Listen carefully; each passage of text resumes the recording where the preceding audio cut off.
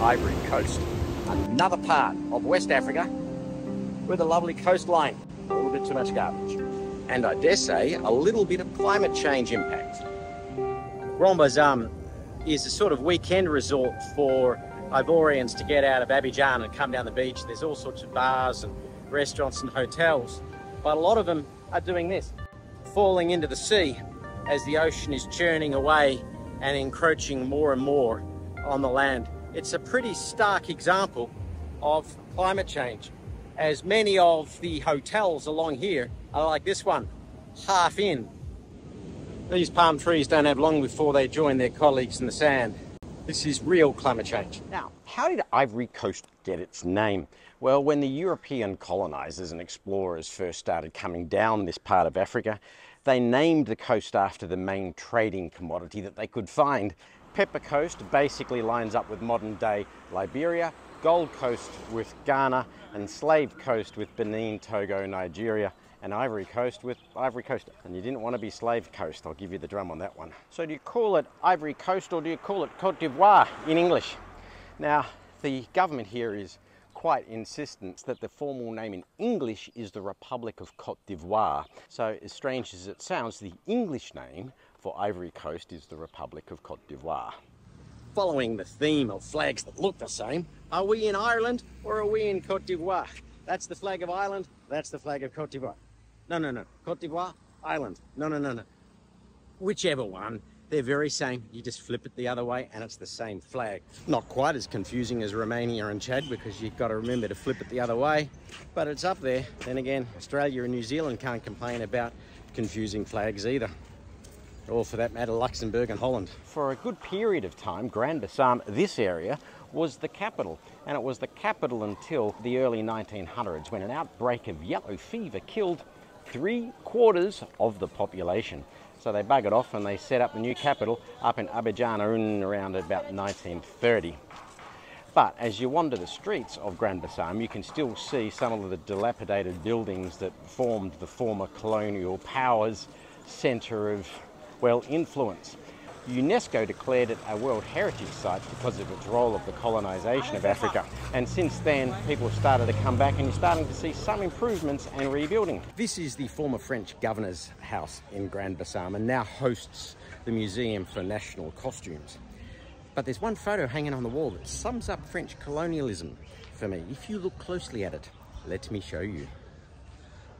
That's the French here. So France originally bought Cote d'Ivoire under its wing as an overseas protectorate in the early 1800s, but as part of the scramble for Africa, formally colonised it in the late 1800s. Going back into the pre-colonial days, Cote d'Ivoire was the heart of various African royal kingdoms and empires. And he wasn't one of them, but this, it's the Grand Palace of Nzima. Europeans conveniently forget that many of the African empires were huge and wealthy before the arrival of Europeans. Now, the post colonial history of Cote d'Ivoire started off pretty good, based on a very strong economy around cocoa and coffee.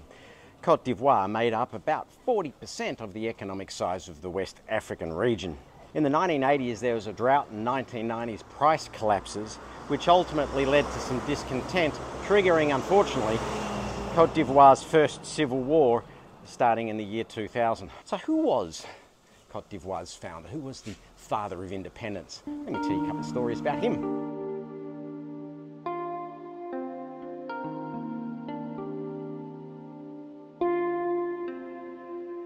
G'day and welcome to the Basilica of Our Lady of Peace in Yamadaba, where I hear you say? Yamoussoukro, the capital of Cote d'Ivoire. No, the capital of Cote d'Ivoire is not Abidjan. It's here in Yamoussoukro.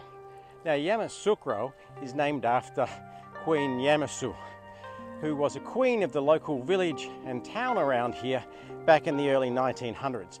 She just happened to be the great aunt of Felix Houphouët Boigny. He's the foundation president of independent Cote d'Ivoire.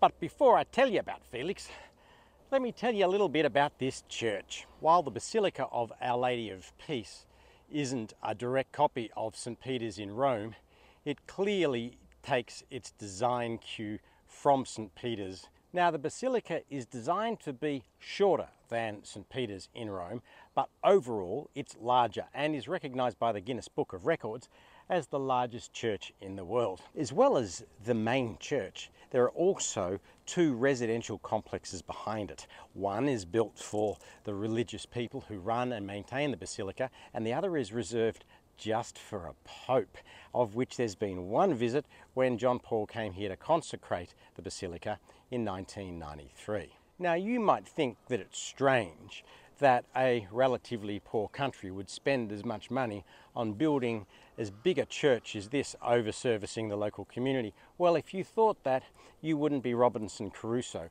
And there was a lot of criticism of the amount of money spent to build this church, and no one really knows how much it was. Some estimates go up to half a billion dollars. So, why is the largest church in the world built on what is essentially a small village outside of Abidjan in the middle of Cote d'Ivoire? And how is it linked to the founding father, Felix Houphouët-Boigny, and I'm certainly not pronouncing that right, was born in the early 1900s. His birth date isn't exactly clear, but because he descended from Queen Yamoussouk, he became the local tribal chief. And after World War II, France started recognising the tribal chiefs of its colonies and allowed them to get educated. So Felix was educated and actually became a medical doctor. This is where the Cote d'Ivoire story starts to diverge a little bit from traditional anti or end of colonialism stories. The French decided to give seats in the House of Deputies to colonial representatives, and Felix got elected to the French House of Deputies from Cote d'Ivoire. Not only did he get elected to the House of Deputies, he became a minister in the French government, being the first African minister of a French government ever. So you started to see in Cote d'Ivoire a more collaborative approach towards decolonisation. So much so that economic growth here came after independence based on a lot of trade with France, particularly in coffee and cocoa and the ongoing collaborative relationship with France remained. And it's not a coincidence that after Felix died in 1993, that that's only when the turmoil and the civil war began in the year 2000. So when Felix Houphouët-Boigny became president, he decided to move the capital to his ancestral home here in Yamoussoukro. Now, to give you an idea of scale, in 1950, Yamoussoukro had a population of 500, and it's now the fourth or the fifth largest population centre in Cote d'Ivoire, with about 250,000 people, or more or less. Most of the administrative functions of Cote d'Ivoire and most of the embassies still are in Abidjan, but technically speaking, Yamoussoukro and its basilica is the capital of Cote d'Ivoire. You know, there's one thing I find kind of unusual in Abidjan, and that is not so much the street side sellers, but the middle of the road sellers who are selling everything. Yes, there's the bottles of water and the fruit and things like that, but I've seen rugs, cupboards, paintings, all being held up by people in the middle of the street trying to sell them to you. I even bought some new plastic covers for my passports off a middle of the road seller. That's Abidjan for you. It is the financial capital of Cote d'Ivoire. And I suppose it's a good place to say, see you later from Cote d'Ivoire.